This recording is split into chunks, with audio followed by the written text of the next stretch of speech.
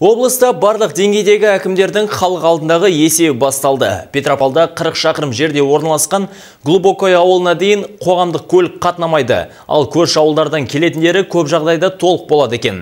Елді мекенде қысқы уақытта жолдарда дұрыс тазаланбайды. Осы сынды маңызды мәселелерді ауыл тұрғындары Лесной ауылдық округінің әкімі Ағыбай Жақыповтың халық алдындағы дәстүрлі есеп беру кездесуінде көтерді. Әріптесім Мағжан Ахмадина тарқатып айтсын.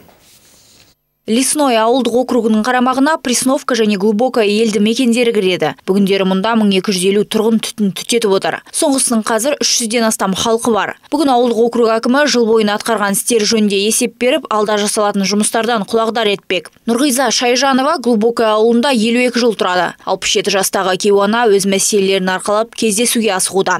Біздің ауылда енді шешілу керек мына жолымыз жоқ жол міне қар жауғанда жолдың бәрі жабылып қалады. Оның главный көшелері тазаланады.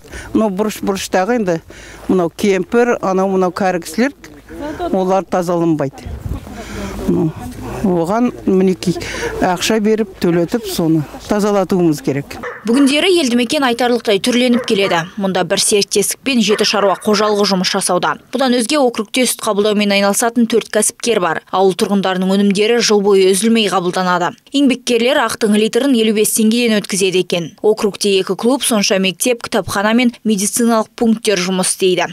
Ежегодно өткен кездесулерде тұрғындардан түскен өтініш шағымдарды шешу бағытында жұмыстар атқарылды. Жолдарға ағымдағы жөндеу шаралары жүргізілді. Шаруа қожалықтары бөлген қаржыға шұрық тесіктерді біраз жамадық. Өңірлерді дамыту бағдарламасы аясында 2014 жылы глубокое ауылында спорт алаңы салынды. Пресновкада хоккей корты бой көтерді. Ауылдық округ әкімінің есебінен соң кездесуге келген тұрғындар өз мәселелерін көтерді. Көпшілікті қоғамдық көліктің жоқтығы қинайды екен. Көрші елді мекендерден келетін автобустар толық болғандықтан жолшыбай кісе алмайды екен. Оның өзін төрт шақырымдағы тас жолға шығып тосу қажет. Ауылымыз қаладан 40 шақырым жерде орналасқан бірақ ешқайда шыға алмай отырмыз. Жеке меншік автобус екі үш ай жүреді. Сосын адам көп болмаған соң қайтадан тоқтап қалады. Қашан қоғамдық көлік мәселесі жолға қойылады?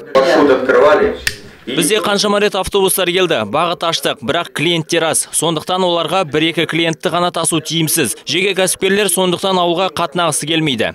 Бұдан өзге тұрғындар интернет желісімен қамтамасыз ету қаңғыбас иттердің жайын айтты. Жалпы халық ауылдық округ әкімінің атқарып жатқан істеріне риза. У нас в селе кездесу жақсы өтті. Бізде айтарлықтай проблема жоқ. Негізгісі осы автобус мәселесі. Шешімін табады деген сенімдеміз.